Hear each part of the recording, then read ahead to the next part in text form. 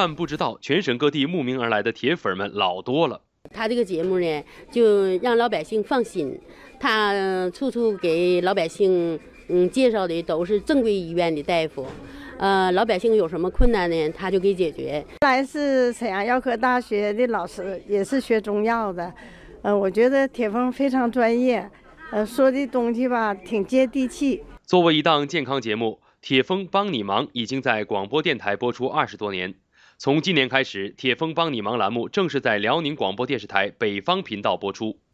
最大的好处就是直观了，解释一个问题，以前用语言描述很困难，现在通过电视、电视媒体，老百姓一下就看懂了。第二，覆盖面大了。高方杰是栏目联合了众多中药生产企业、省内名中医和沈阳的医药零售店共同举办的。一方面通过融媒介宣传冬季养生常识、膏方的滋补作用，另一方面也会在线下举办养生讲座、专家义诊等活动。准备了十个场次，历时呢两个月的时间，向大家去推广介绍膏方的使用的方式和方法。啊，针对于东北的地区的这个环境和特点，寻找适合于呃中医养生的膏方制剂。